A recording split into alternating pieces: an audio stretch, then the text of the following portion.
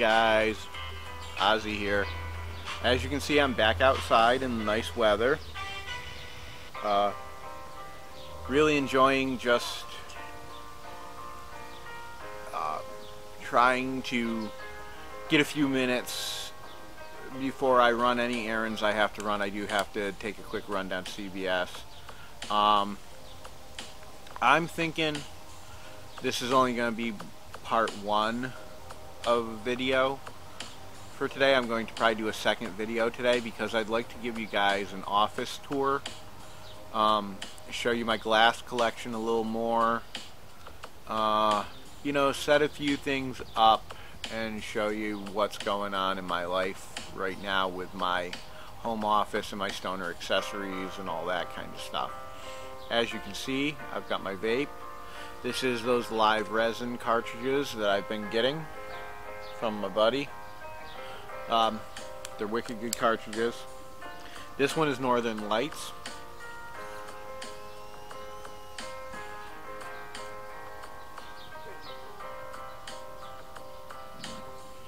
Um, downstairs I've got cotton candy, but it's hooked up to my adapter right now so I can do it off of my rig. I'll probably do a little bit of that later. I know when I do that I usually get age restricted. I could age restrict it myself, but you know, right now I'm just gonna stick with what I'm doing. I'll let I'll let them do it because I go on to other people's sites and I see their videos and they don't get age restricted for some reason and I don't understand it. But it's fine. You know, that's what YouTube wants to do right now. Maybe when I get more popular or something, maybe it'll switch and they'll not automatically age restrict my stuff when I use my rig or whatever. Um, and like I said, these guys I've been watching and girls I've been watching are smoking right out their bong and I didn't have to agree that I'm over 18 to watch it. So they're not getting an age restriction put on either by themselves or by YouTube. So I don't understand why it's happening with certain ones of mine. Maybe it's the content I talk about because sometimes I do, as I'm smoking, mention my stepdaughters, but I don't think that's it. I think there's got to be something else to it. But I'm going to keep doing what I'm doing because this is the kind of content that I want to put out for this channel. I want to smoke, I want to feel free to do on my channel what I do. Everything I do is in a state where it's legal for adult recreational use as well as medical use. I am a medical patient, so I do use for medical reasons, but I also enjoy the effects. So I also use for the recreational portion as well to an extent. But I like the culture that's associated with this particular subgenre. Anyway, so I enjoy everything about it. So I am not just hitting off my vape. I am rolling my own cones. I am rolling my own um, joints. I am taking my rolling papers, my wraps, and turning them into cones on the bat that I've got to make little rolling rolled cones so you can fill them instead of trying to roll a joint. I haven't gotten there yet. I haven't wrapped a joint yet. I haven't done a good job with it, I should say. I've wrapped one or two, but they weren't very good. And right now, I'm almost out of flour. Um, I don't really have the supplies to do it. So therefore, I can't do it. Um, I have money to get the supplies, I just haven't had the time to go and get the supplies. So right now, it's kind of all up in the air. I'm waiting to see what I'm going to do over the next couple days, two weeks. Um, I do have a lot going on. I do have a lot coming down the pike.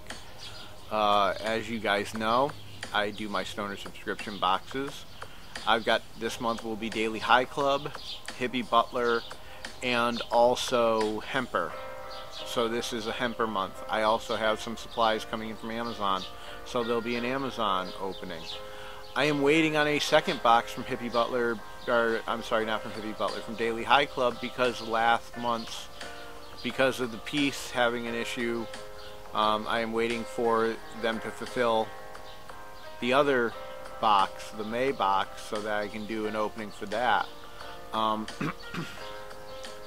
next month will be my month off of the Hemper box. I'm doing every other month the way I'm working it right now. So next month will be a month off of the Hemper, but what I'm thinking of doing is on the off months of the Hemper box, doing the weed box.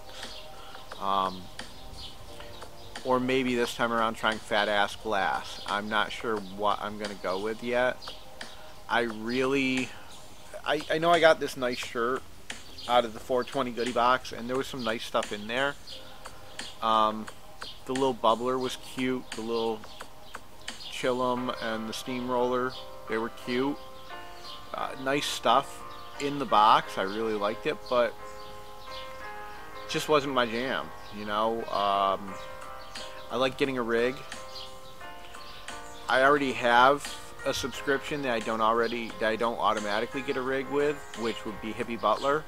They tend to sometimes send pipes in places of rigs, but their pipes are very um, ornate, as you guys saw with that Gandalf Sherlock that I got. Got that very long stem on it, beautiful white piece. You know, since they do those things where they do these very nice custom pipes, I'd rather stick with them. Um, and their box is much more highly curated. The accessories that come with it are much better quality. Um, the wraps that you get are typically a better quality. Um, I don't mean to belittle the 420 goodie box. They were good. And for the price, it is worth it. And if you're a pipe smoker more than a bong smoker, or if you really like getting um, a t-shirt every couple months, every month, whatever you get it in the box, you'll love it. But it's just not not for me right now. Maybe later on down the road. And I was hoping with it being called the goodie box that it would also have a couple of things to eat. There was a pack of gum in there, yeah, which was great, and I gave it to the kids. They loved it. I can't eat it right now with no teeth, but for me, as I was looking at it with it being called the Goody box, I was hoping it'd have a little bit of a selection of different things in it. Um,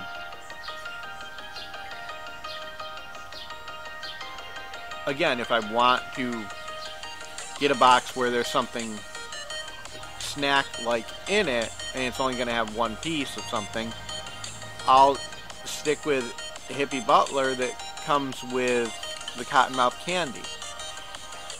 I particularly liked it. The problem is because it's sugar-free, it can give me problems because of my head injuries. I can get migraines from, you know, sucralose, from, from different kinds of things. I, I have to have natural sugars. I can't have, you know, like chemical compounds and stuff like that. They give me headaches. And even though I've got the Daith piercing in my ear, which has stopped the migraines for the most part, I have noticed that if it's a chemically induced one, they still come on, and that does not alleviate it. I do still have to go in and take medicine for it at that point, because even the medical marijuana does not pull it off. I have to just do what I can to get better.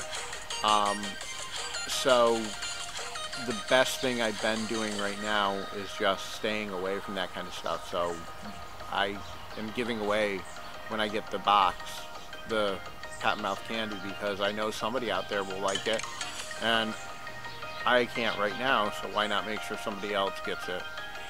Um, guys, if you are enjoying these sessions, go ahead down right over here and click the like button. Then come over here, way over here, and subscribe if you're not already. If you subscribed and you liked it, why not go and do the third thing and click right over here. That's the notification icon. You click on that icon, you'll get notified whenever I have new content coming out. And if you guys are nice enough to do all those things, why don't you just leave me a comment, let me know what's going on in your life, what you guys are going through right now, and what you'd like to see on the channel, because I'd love to hear from you guys. Alright guys, that's going to be it for me for now. I'll talk to you later. Ozzy out.